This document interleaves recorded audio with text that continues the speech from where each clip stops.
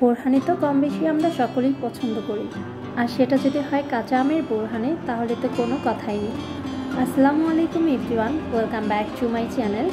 আজকে আমি আপনাদের সাথে শেয়ার করব কাঁচা আমের টক ঝাল মিষ্টি বোরহানি। আশা করছি আমার আজকের এই রেসিপিটা আপনাদের কাছে ভালো লাগবে।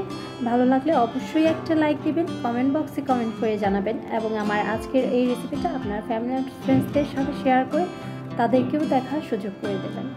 আর আপনি যদি আমার চ্যানেলে নতুন হয়ে থাকেন, তাহলে অবশ্যই আমার শালাস পার চ্যানেলটি সাবস্ক্রাইব করে পাশে থাকা ছোট্ট বেল আইকনটি ক্লিক করে রাখবেন এই ধরনের নতুন নতুন রেসিপি পাওয়ার জন্য। কাঁচা আমের বোরহানি করার জন্য প্রথমে আমি এখানে একটা ব্লেন্ডারের জার নিয়েছি। এইখানে আমি পাঁচটা মাঝারি সাইজের কাঁচা আম কিউব করে কেটে নিয়েছি।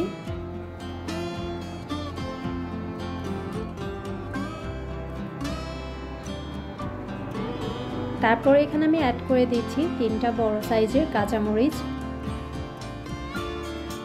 তারপর আমি অ্যাড করে দিচ্ছি বিট লবণ। এখন দিয়ে দিব পরিমাণ মতো সাদা লবণ। দিয়ে দিচ্ছি পুদিনা পাতা আর এই বোরহানিটাতে কিন্তু পুদিনা পাতাটা অবশ্যই দিতে হবে। পুদিনা পাতাটা দিলে খুব সুন্দর একটা ফ্লেভার আসে, খেতেও ভালো লাগে। আর দিয়ে দিচ্ছি টালা জিরের গুঁড়ো। এখন আমি অ্যাড করে দিচ্ছি এক কাপ পরিমাণ চিনি। দিয়ে দিচ্ছি অ্যাড করে দিচ্ছি কাসুন্দি। আর আপনাদের কাছে যদি কাসুন্দিটা না থাকে, সেক্ষেত্রে কিন্তু আপনারা সরিষাকে ব্লেন্ড করে সরিষাটাও ইউজ করতে পারবেন। দিয়ে দিচ্ছি হাফ কাপ পরিমাণ টক দই। এখন আমি এর মধ্যে অ্যাড করে দিচ্ছি এক কাপ পরিমাণ ঠান্ডা পানি। পরবর্তীতে আমি আরও পানি অ্যাড করে নেব। একসাথে বেশি পানি অ্যাড করলে কিন্তু ব্লেন্ডটা ভালো হয় না।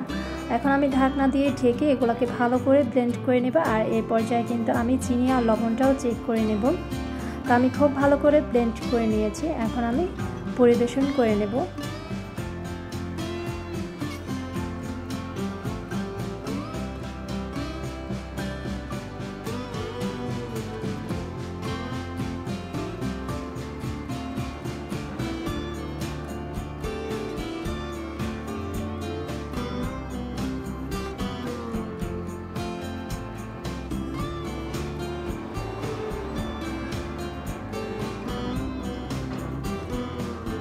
আমি এর মধ্যে কিছু বরফ কিউব দিয়ে দিচ্ছি।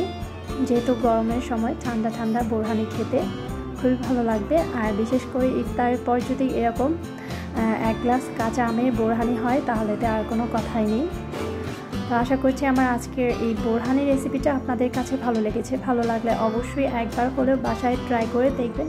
খেতে কিন্তু অসাধারণ। আশা করছি আপনাদের কাছে খুবই ভালো লাগবে। সবাই ভালো থাকবেন, সুস্থ থাকবেন। সবাই সবার জন্য দোয়া করবেন। এই প্রত্যাশায় আমি শালা আজকে এখানেই শেষ করছি। আল্লাহ হাফিজ।